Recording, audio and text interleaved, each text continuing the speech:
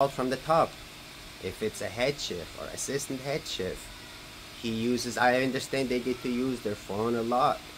Once they use their phone, it takes five seconds to wash their hand and continue their work. But it happened a lot of many times. They use their phone and start going back to their sushi making right away.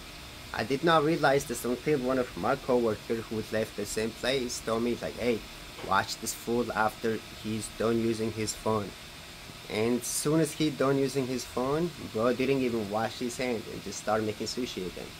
And if you think that's the worst, he goes to restroom, comes back, put his apron back on, start making sushi. And the worst of the worst thing, the reason I started this video is I saw a couple times you drop your towel on the floor, which is so bad, so dirty. All you can do is toss that shit away, get a new one, or at least rinse it, soap it. And bro picks it up, wipe his board, start making sushi again.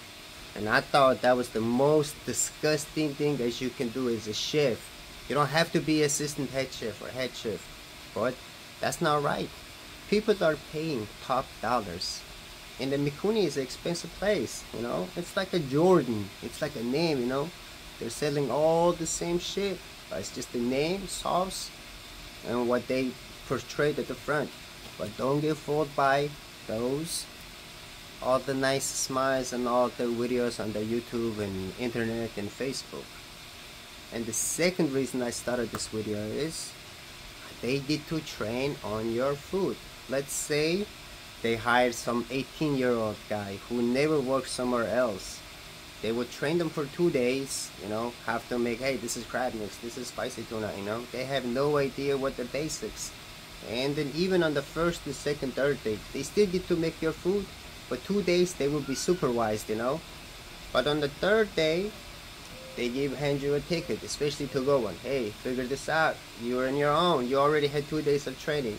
So you know they get to miss, they get to miss, they get to do all kind of stuff, practice on your food. I believe there should be some trials. You know, you have to pass the certain this skills things to make actual order for someone else. Until then, you can do a workshop. You can do a make the Californias for the kitchen. You know, you can be doing all kind of different practices before you get to work on someone's actually food. So it's just, you know, they're learning and being mistake on your food that you purchased for 50, 60, 70 dollars. When you see inconsistent food, why it looks so bad, that means that some guy with no experience just worked on your food for 40, 50 minutes. And the third reason is, let's say you get it to go, that's a pickup for 2 o'clock, right? and they give this ticket around to the new guy around 12 o'clock. Hey you got two hours to make this ticket. That's a five rolls so they will start making it you know? And i guess it takes them about 30 40 minutes you know sometimes like depending on how fast they are. But what i'm saying is they're gonna start making your food at least one hour 30 minutes before and it just sits there. And they waited until sauce until last minute. So when the avocado gets darker or anything like that they just covers up with the sauce and put little garnish, green onion masago. Whenever you eat some to-go's and everything, lift up the sauce, check the inside, make sure it's good, guys.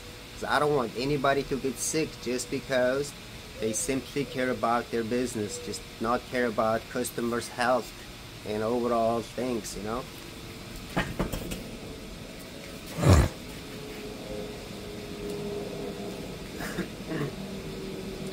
Fourth, when you example when you have 18 shifts working at the same time you have assigned jobs that you're supposed to do but there are so many other small things that nobody's assigned to. Example some salmon egg it's supposed to be kept refrigerated. But some guy use it puts it out it's just sitting in the top with in the cold like walk-in refrigerator but it should be refrigerated refrigerated. So it's just sitting in the in, in, in outside it could be sitting there for days. And once I checked some wages that's supposed to be replaced every two days, I saw some wages that's been sitting there for two weeks, yo. And I can see someone use that shit. How could you use ingredients that's been sitting there for two weeks and it got the dates on it? Sometimes they don't even put the date on it, you know? I understand there's so many people, so many people sign, but if your top upper management shows a care about these things, and everyone will care about it. But if your top, your upper management doesn't seem to care about, everyone will be like, oh, that's not my sign job. I don't need to do that, you know. So be really careful. If something doesn't seem like smell right, doesn't look right, always return it. Don't be hesitated to like feel bad. Hey, these people worked hard on this to make this. I don't want you guys to get sick and be just, you know, and it can be long-term health problem on you. And watch out for that.